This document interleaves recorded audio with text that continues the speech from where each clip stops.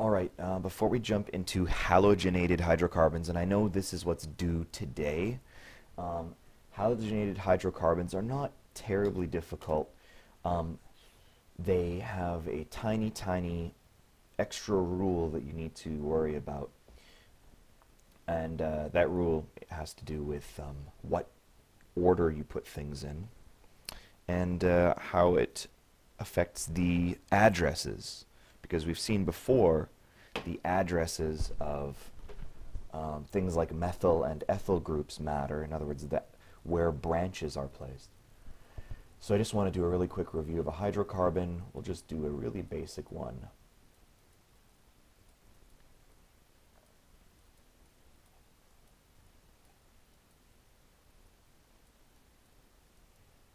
Something like that. So we'll put out our hydrogen tickies. And this is just a normal hydrocarbon um, with branches. And it is an alkane. Boom. Okay. So we should remember how to do this. First thing we do is we circle our main chain. And I am seeing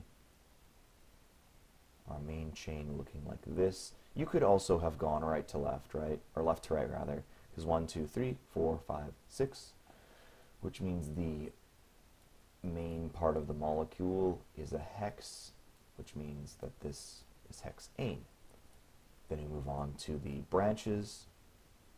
Oops, I just realized I forgot a hydrogen there. My bad. Um, we have a, shoot, apologies. We have an ethyl group here. We have a methyl group here. So let's see what our numbers are going to look like. One, two, three. So 3 methyl, 4 ethyl. So the ethyl in, on group 4 on carbon 4 and a methyl on carbon 3. Or we have an ethyl on carbon 3 and a methyl on carbon 4.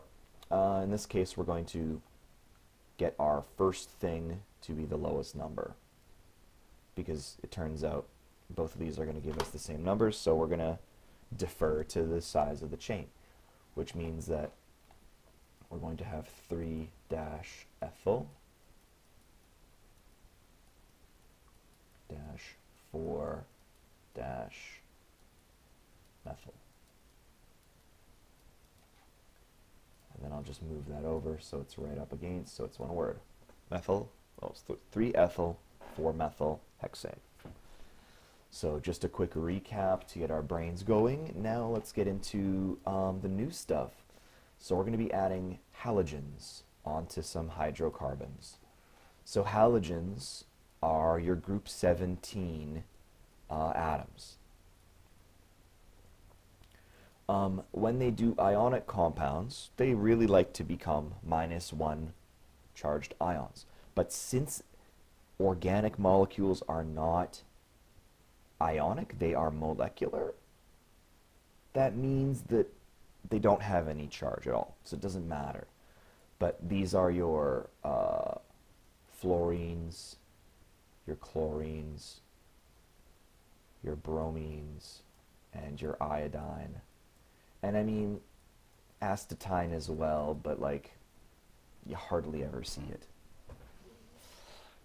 So the special way that we um, write down halogens. If there's an F in the molecule, it gets the prefix fluoro. If there's a Cl in the molecule, it gets the prefix chloro. You can probably see where we're going with this.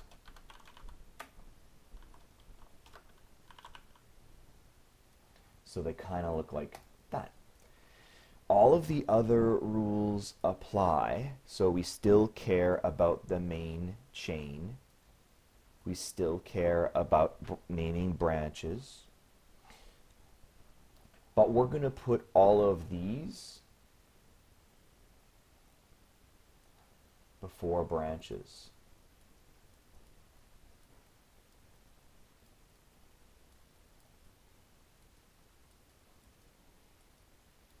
Now the nice thing is in Science 30, you do not generally see molecules that have like multiple features very often. So we're going to stick with the basics here, and I'm going to just very simply start off with a very simple molecule. Let's put a Cl on here. That's it. So we look at our, I, hesitate to call it a main chain, right? Because it's one carbon. But since it's one carbon, uh, this guy is going to be called methane. And then all we need to do is describe the halogen that's on there. So there's only one of them. We do not need to use mono for one of anything. We do need to say what it is, though, and it is a chloro. So that's our chloromethane. Let's make it a little bit more difficult. Let's do maybe something that has two halogen atoms attached. Something like that. So now it's still going to be a methane, right? Because it's only one carbon.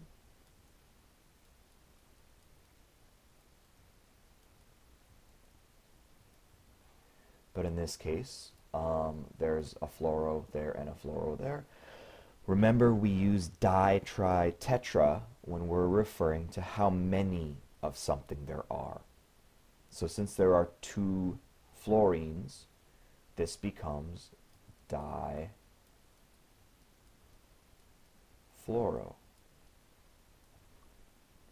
So there we go. There's difluoromethane.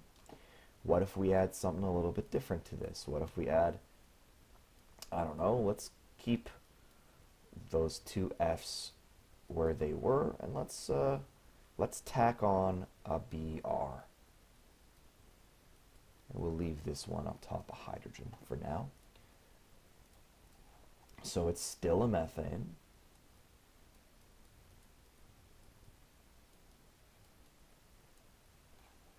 And now we have three halogen atoms. Boom, boom, boom. And since we go in alphabetical order, bromo goes before fluoro. So this is going to be bromo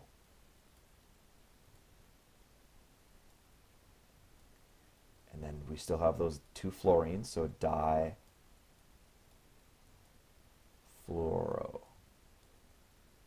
methane. And we'll just select that, move it so it's part of the first or the second word. So bromodifluoromethane. So far, pretty simple stuff. Let's move on a little bit further. Let's just do another couple examples. What if we have something that's got more than one carbon? What if we've got something like that? Which is going to be a prop. It's going to be a propane of some, some type. Uh, let's throw a fluorine on here, a fluorine on here, a fluorine on there. And I think that's all we're going to put on there. The rest can be hydrogens. Okay, so same same idea. Main chain, three carbons. That's a propane.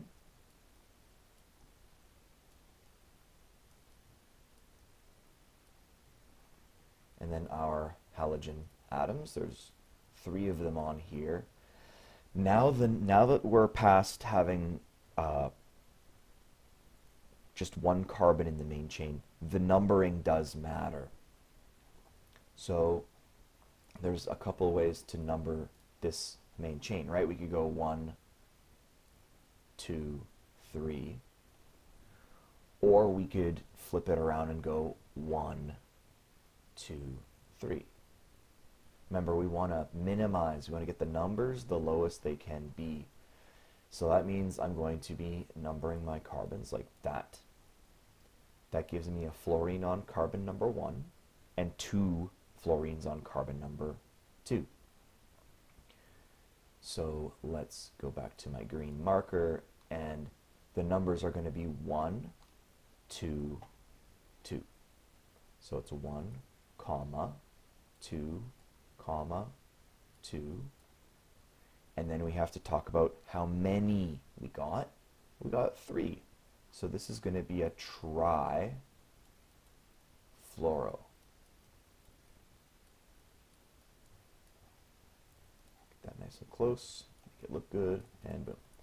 So 122 trifluoropropane. Now, one last little thing. Um, we notice we're not talking about the hydrogens. The reason why is because it's assumed. We assume that there's going to be hydrogens on whatever spots are left. So really, this is cool because it saves us a little bit of time when we're trying to communicate what the chemical is like. So you're going to, so propane, boom, we have our three carbon main chain, and then they say, okay, on carbon one, put a fluorine. On carbon two, put a fluorine. Put another fluorine on carbon two. And then boom, boom, boom, boom, boom, put the rest of the bonding capacity, make them into hydrogens. So a couple things remember you need to do is make sure that you're um, numbering uh, for each thing that is there. We're using mono di tri tetra for the amounts of things. We're keeping the numbers low, and we're also making sure that we um, put our halogens in alphabetical order. So let's just do one more example.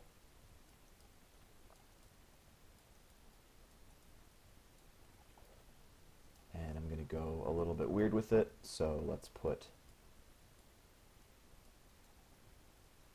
uh, let's see. We're going to make an what's called an HCFC, hydrofluorochlorocarbon. What does that mean? It means that it's got hydrogens in there somewhere. It's got chlorines, it's got fluorines, and it's got carbons. The name of the thing tells you what it is. Let's put another fluorine on this guy. And then you know what? We're going to put uh, let's put one more fluorine on this, this guy, and then the rest will be hydrogens. Okay, so we're still not doing branches, and that's fine. We're not going to do branches in this um, when we're learning about hydrocarbons. Or sorry, um, halogenated hydrocarbons. So here is our main chain, straight shot, five carbons. This is a pentane.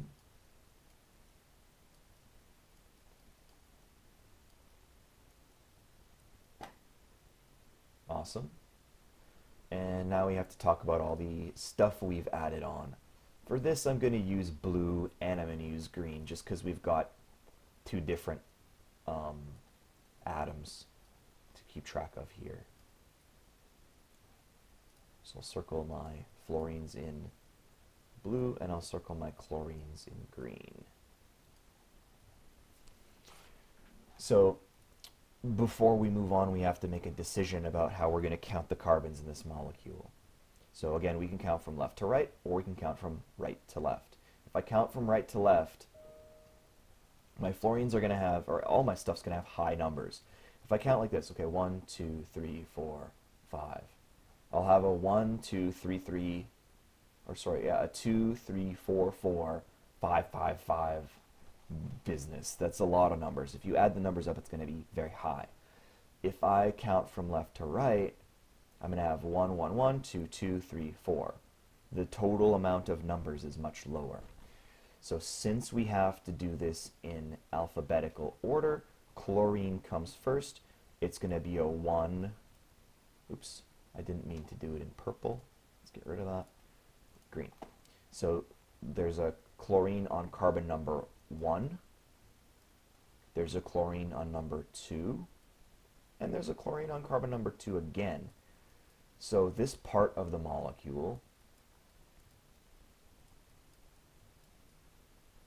is a 112 trichloro.